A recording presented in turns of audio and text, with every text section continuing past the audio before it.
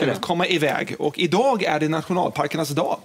Mm, det tänkte vi att vi skulle fira och uppmärksamma lite grann. Förra året besöktes Sveriges 30 nationalparker, lyssna nu, 3,1 miljoner gånger.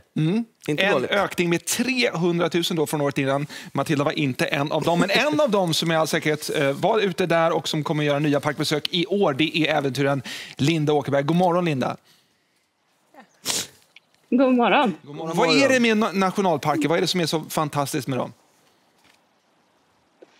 Alltså vi har ju som du sa 30 stycken och de, eh, eh, där de liksom är utvalda kan man säga för områden där det är väldigt speciell natur och där den är skyddad då av olika anledningar.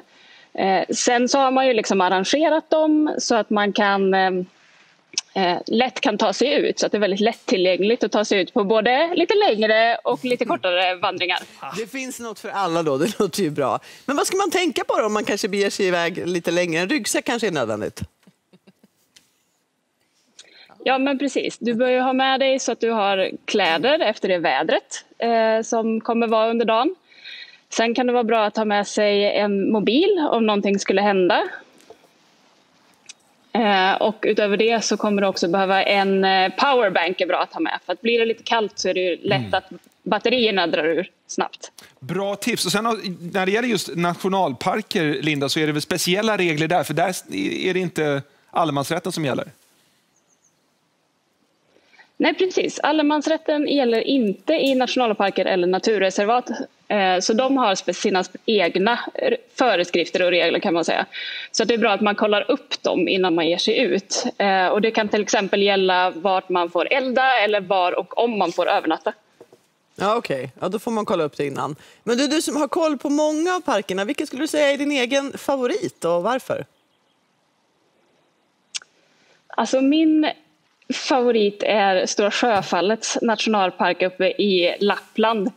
Eh, den brukar väl ligga lite i skymundan jämte grannen Sarek som ligger precis bredvid. Men eh, den här är lite mer en liten, kanske bortglömd pärla. Det var en väldigt eh, viktig nationalpark när den grundades i början av 1900-talet. Men, men den eh, håller fortfarande bra nivå. Men nu ger ju du tips på den rakt ut i tv, Linda. Du kanske blir mer välbesökt, din, din undangömda pärla. Bara så du vet, så du är medveten om det. Men du, vad, vad, har, du på, vad har du på schemat i, i år? Då? Vad ska du, vilken nationalpark vill du verkligen besöka den här sommaren? Eh, Jag är lite sugen på att besöka Färnebofjärdens nationalpark. Eh, Som jag inte har varit och inte kände till så bra innan. Den ligger ja, men på gränsen mellan Dalarna, Gästrikland, Västmanland och Uppland. Eh, Så den är jag väldigt sugen på att upptäcka mer. Kul! Du Linda, eh, om du tar tillfället i akt här sista gång då och liksom uppmana människor som kanske inte tänker att vadå nationalparker, vad är tjusningen med det? Ja, men vill man hitta ut i naturen så är det ett väldigt bra ställe att börja på. Som sagt, det finns enkla leder. Ofta finns det ett naturum kanske där du kan liksom lära dig mer om naturen och även få hjälp att komma ut. Mycket Ja. bra. Stort tack. Tack för tipset, Linda. Eh, ha det bra där ute. Tack snälla. Tack, tack. Eh, och